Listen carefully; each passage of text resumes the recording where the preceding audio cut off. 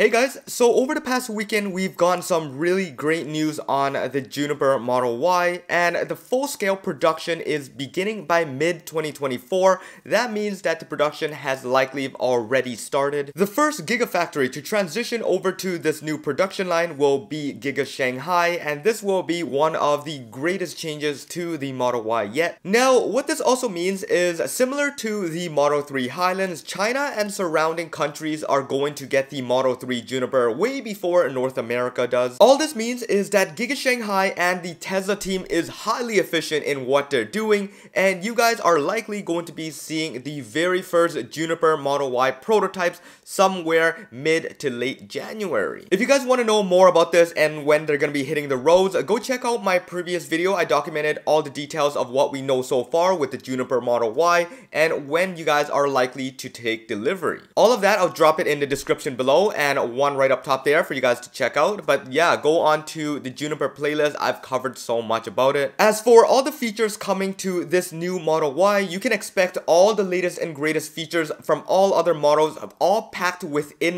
this new upgrade. Some of the nicer features that are guaranteed at this point is ambient lighting, cooled seats, blind spot monitoring from the Model 3. Then we have the stalkless design, the rear display, and the upgraded seatings directly from the Model S and X. And just possibly, we might be seeing some of the upgrades coming directly from the Cybertruck as well. We're talking about vehicle to grid, the 120 volt outlet, and maybe even a powered trunk. So yeah, being that the Model Y is literally the best selling car in the world right now, there's no doubt they're going to be packing all the latest and greatest features inside of this car. So if you guys are interested, make sure you guys check out all the details in my Model Y Juniper playlist. That's where you guys are going to know if it's worth it to buy it right now, better to wait, or just buy the one that's slightly refreshed that's available in the markets if you guys are living in certain parts of the world. Alright, so let's talk about the exterior of the Model Y. This is likely going to be seeing a refresh as well, similar to the Model 3 Highlands, but this is going to be very unique to the Model Y. It is in Tesla's best interest to differentiate the model so they can highlight their own segment.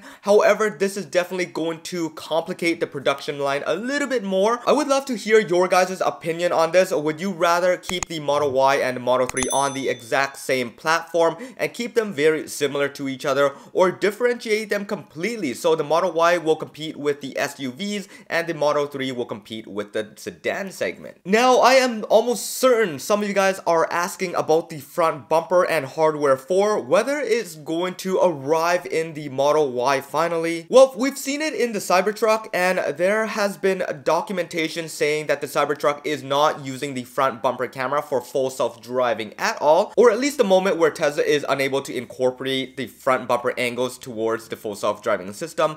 However, the Model Y is going to be different. If you guys can recall, they've decided to hold back on the Model 3 Highland front bumper camera. This is likely due to the placement of where it is and how it would be washed if it got dirty. One thing I can say for sure is Tesla definitely knows that there are limitations in their Tesla Vision Park Assist stack, and that means that as of right now, if it does get dirty, the whole system completely fails. If there is something in the front bumper area, in the blind spot area, the system will not be able to detect it. Essentially, we're facing the issue, Tesla's facing the issue, everyone is facing the same issue, and there's no doubt Tesla would want to fix this blind spot, and there's no better way than adding a front bumper camera. This is going to make it very incredible in terms of 360 degree view. I would also think that Tesla wants to ensure that their mass marketed SUV, which is going to sell in a bunch, that every single part is available for what it's supposed to do. If they decide to not incorporate it in this car, they're going to have to regret it and retrofit every single one of them once Tesla Vision and full self-driving requires it. Alright, so on to the good stuff now. So exactly as the title states, we are going to be getting a much improved battery going into this Model Y that not even the Cybertruck or the Model 3 Highland has seen yet. This battery here is going to boost the Model Y in every single sense and it's going to improve it in so many different ways. Tesla is planning to work with CATL, a large Chinese battery manufacturing plant that is going to be building a battery exclusive to the Model Y. What's special about this LFP battery is that it's going to boost efficiency efficiency by around 20%. That means that you're going to be getting a 20% range increase and it's going to be topping out at a charging rate of 350 kilowatts. This is 100 kilowatts faster than what we have right now. So as soon as you plug it in, your car is going to have an amazing charging curve. Of course, LFP is going to bring its own advantages such as longer lifespan, a much better charging curve, and even the lower cost of building those batteries. There are also other indications that Tesla is going with the N3P batteries found in the Model 3 Performance right now. However, it does not come with all the benefits of the LFP packs,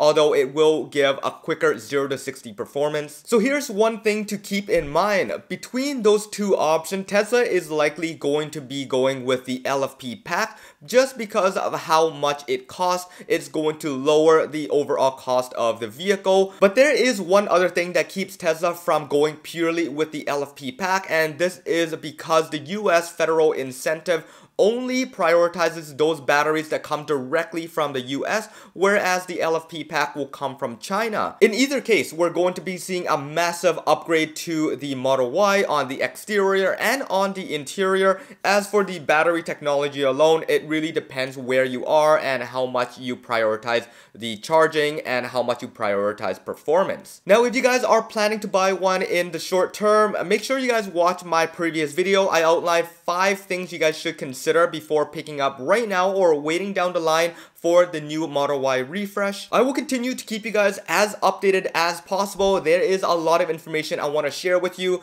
The New Year's and Christmas just passed, so I took a couple days off, but we should be back on track now. So make sure you guys hit that subscribe button, that bell notification if you haven't already done so. And follow me on Twitter and X at HeyJohnEe if you guys haven't already done so. Over there, we can chat, we can discuss outside of YouTube. There's a lot of stuff I do share on there as well. Anyways, this should wrap it up for this one. I hope you guys enjoyed it. This is John once again. Peace out.